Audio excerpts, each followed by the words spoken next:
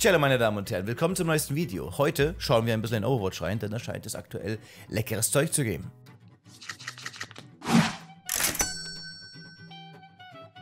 Fall Nummer 1, Casharino.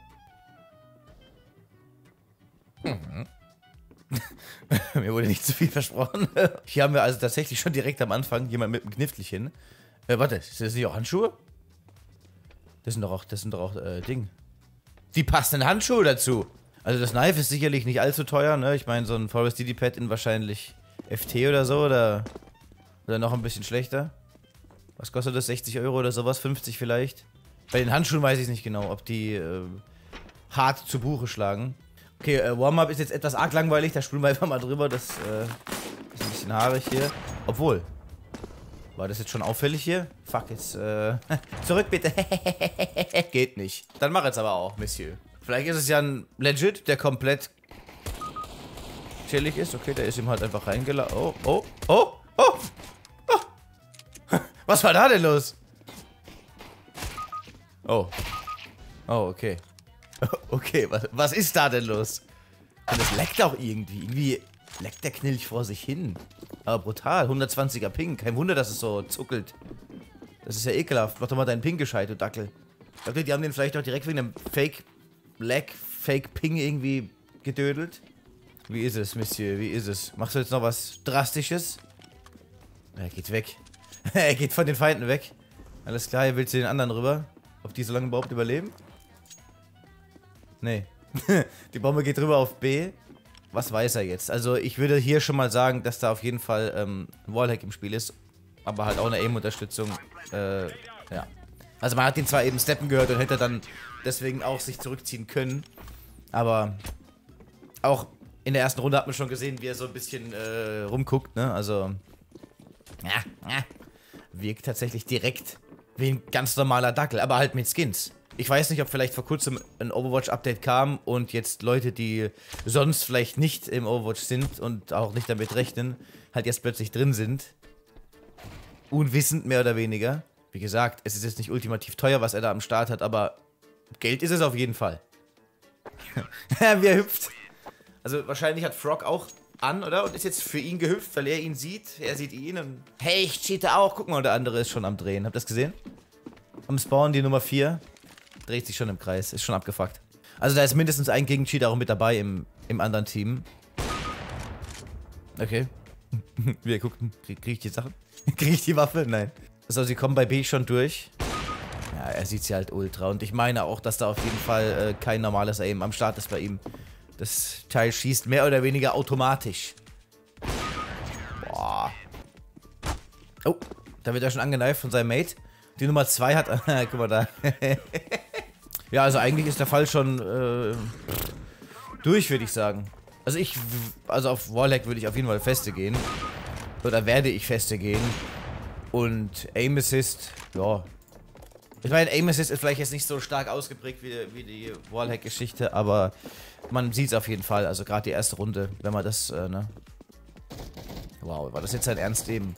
War das eben sein Ernst? Ich wollte jetzt hier nochmal ganz kurz zeigen, dass er eigentlich gar nichts anhat. Da bleiben wir doch noch kurz drin. Noch ganz kurz.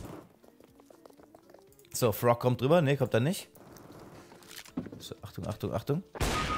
Ja, also er schießt ja, er schießt ja wirklich schon hinter der Wand los und geht dann praktisch um die Ecke, um die, um die Kugel da richtig zu leiten. Also so wirkt es zumindest. Drei seiner Mates, ne vier, alle vier, sind hinten stehen geblieben und chillen ihre Bäckchen. Sie laufen jetzt erst los und kriegen...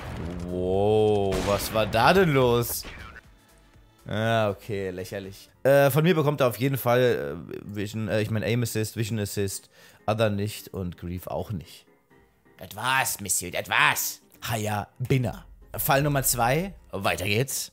Auch auf das 2, da wird doch gar nicht gehackt, oder? Schon wieder vom Anfang. Oh. Und direkt eine Mecha Industries. Habe ich da eben kurz was Rotes aufblitzen gesehen? So ganz short. Ah, der Dragon King. Ah, der hat irgendein Knifflchen. Keine Handschuhe, aber ein Knifflchen hat am Start. Man sieht's kurz. Unten an der Schrift. Oh ja, guck dir das an. Tatsächlich ein Skeleton Knife Forest DD-Pad. Schon wieder DD-Pad, hä? Haben wir doch eben. Und eine Cortex, die ist auch nicht schlecht. Da gucken wir mal, was...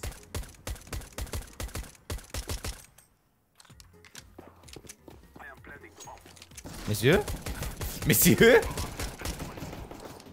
Ja, okay. Da haben wir ihn bereits jetzt eingetütet. Oder es ist eine riesige, riesige, riesige Vermutung gewesen. Aber nicht so oft, nicht so viel, nicht so lang. Also, äh, das war... Das war Quatsch jetzt. Das war jetzt wirklich Quatsch. Also, man kann jetzt schon zusammenfassen und sagen, dass er ähm, richtig dicke Sachen am Start hat. Also, allein das Skeleton ist... Äh, deutlich mehr wert als das andere DD-Pad, das wir vorhin gesehen haben. Äh, da können wir gleich mal nachgucken, warte mal. Also in Field Tested ist das Teil 252 Euro wert, in Minimal Wert 395, Well One 292. Gucken wir hier mal, ob wir es nochmal sehen. Ja, es sieht eigentlich ziemlich... Halt's doch mal still, du Dackel! Es sieht eigentlich ziemlich nice aus, ne? Also ich denke, im schlimmsten Fall FT, oder? Aber eher MW. Am besten gucken wir jetzt mal ganz genau drauf, ob er jetzt noch weiterhin irgendwie hier was mit den äh, Vision-Geschichten am Start hat oder eher nicht. Am Anfang, das war einfach ultra hardcore. Triple Chock obvious. Also, so lange durch die Tür zu ballern. Das ist ein Platz, wo man gerne mal steht, klar. Oh, okay, es wirkt auch, wirkt auch noch nach, äh, oder es riecht ja noch nach Aim Assist. Ähm, das ist ein Platz, an dem man natürlich stehen kann. Und da kann man doch mal hin pre-feiern, wobei die USP ja auch scheinbar nicht durchgeht. Da kann man ja mal hin pre-feiern, aber halt nicht so lange, so oft und wirklich so gezielt auf den Kopf. Ich meine, später war dann zwar ein bisschen off, aber trotzdem ist das ein bisschen, äh, bisschen arg. Ach, guck mal, da hebt das hin. Ja, doch, also es, wie er es uns jetzt so richtig zeigt. Guck mal, Leute, guck mal, wie viel Geld ich verliere. also ich denke, es ist im schlimmsten Fall FT, oder? Eher noch MW. Also so um die 400 Euro. Nur was das Knife angeht. Dann hat er noch hier die Dragon King, die sicherlich auch noch ihren äh, Obolus fordert und die Cortex, was kostet die? 5 oder 10 Euro, so ungefähr, je nachdem, was für eine Condition die vorliegt. Oder ist die noch teurer? Jetzt gucken wir nochmal genau drauf. Also hier oben auf Short ist einer, den hat er easy weggeholt. Mhm, einer bei Goose, der andere Onside. Er macht... Ah, er legt jetzt hier seine Wallhack Smoke, oder was? Ah, um zumindest schon mal in Ruhe einen Nate schmeißen zu können, die nur 2 Damage gemacht hat. Und jetzt will er was machen? Hä? Willst du jetzt nicht die noch killen? Du Dödel, nachdem du den ersten Shot so ultimativ obvious gemacht hast, durch die Wand. Also, ihr hättet doch jetzt eigentlich wirklich äh, mal ganz gemütlich reinklatschen können, oder? Problemlos. Das verstehe ich jetzt nicht ganz, warum er da nicht seinen Warlock genutzt hat. Die Mecha Industries habe ich ganz vergessen. Die ist, glaube ich, auch ein bisschen was äh, wert. Also so overall. Oh, jetzt schießt er noch sein Mate an. Dödel. Sein Mate steht im Molly und er ballert ihm auch noch in den Rücken. Uff. Also auf Short kommt jetzt gleich einer, passt auf. Mal gucken, ob er den rafft. Also er schießt dahin, als wenn er schon sagen wollen würde, Jungs, an alle die, die keinen Wallhack haben, da kommt gleich einer. Mhm, mhm. Die Shots, also vor allem die Deagle-Shots waren natürlich kompletter Quatsch. Da hat ein Headshot genascht. Einer ist jetzt noch oben bei T-Spawn, von dem er eigentlich wissen müsste. Oh. Oh, oh, er stellt sich aber ganz schön, ganz schön knapp dahin, Junge. Der hätte ich killen können jetzt. Hm, der andere ist close. Und lädt ultra laut nach. Ich bin hier übrigens! Also auch ohne äh, Warlock hätte man da auf jeden Fall gewusst, wo er sitzt. Wenn man jetzt diese erste Szene vergisst, an der Tür, ist der Fall... Naja, ist er wirklich ein Ticken besser als der andere? Ich weiß es nicht. Wo sind die... Oh, eine Wildfire. Stimmt, die hat er ja auch noch. Die hat aber auch, glaube ich, so einen gewissen Euronenwert. Oh, oh, oh. Monsieur, da hast nicht ganz gereicht. Oh, und den Mate angeneift. Das ist natürlich nicht so cool. Wobei das ein Versehen war sicherlich. Kennt man ja auch so aus ab und an aus High- und Low-Games. Eher, eher aus Low-Games, dass jemand noch so viel Energie hat von der Runde davor, dass er zack mal kurz eben in den Rücken von der Mate geht. Ist natürlich nicht so klug, wenn man nicht gerade auf Faceit spielt. Mhm, mhm, mhm. Alles klar, also bei Vision sind wir uns schon sicher, ne? Other war nix, Griefing, also dieses ein oder zweimal das Angeneife der Mates ist jetzt auch nicht so wichtig. Aim Assist. Was würdet ihr sagen? Video anhalten und jetzt dann kurz schreiben, was ihr dazu sagen würdet. Und übrigens, Leute, diese Woche fallen der Dienstags- und der Donnerstagsstream aus, weil ich da nicht da bin. Ich werde heute Abend, Nacht einen Stream machen, also Montag. Ich weiß noch nicht genau, wann ich starte, vielleicht 20 Uhr und am Mittwoch dasselbe machen. Freitagsstream findet wie immer statt. Und vielleicht werde ich auch noch dienstags und donnerstags nachts dann einfach anmachen und dann noch ein bisschen reindaddeln. Aber diese beiden Streams fallen auf jeden Fall aus. Und nächste Woche Dienstag oder Donnerstag auch. Also ich glaube Dienstag. Danach alles wieder chillig. Aber diese drei Termine sind leider äh, belegt. Bei uns jetzt ne, wegen den Vorbereitungsgeschichten. Da bin ich nicht im Haus. Nur, dass ihr Bescheid wisst. Also schön heute Abend mal reingucken auf Twitch. Ich sag mal ab 20, 21 Uhr und dann äh, mitmachen, wer will. Ne? Wie immer, äh, Giveaways, Fewer Games und so weiter und so fort. So, und ich habe jetzt oben bei äh, Aim Assist das gedrückt, was ich vermute, und das gleichen wir dann einfach in den Kommentaren ab. So, na gut, wenn wir jetzt bald den Stream anschmeißen. Ich muss ja eh noch die Skins vorbereiten. Ich habe dann, lasse ich es erstmal so. Zwei fette Schnecken mit Knife, beide komischerweise mit Forest DD-Pads. Keine Ahnung, vielleicht ist das gerade was unter Cheatern so Trend. Das war jetzt natürlich eine recht äh, frische Brise und der erste hat auch noch Handschuhe. Denkt dran, so grüne. Beide obvious am Reinkeckeln. Was will man mehr?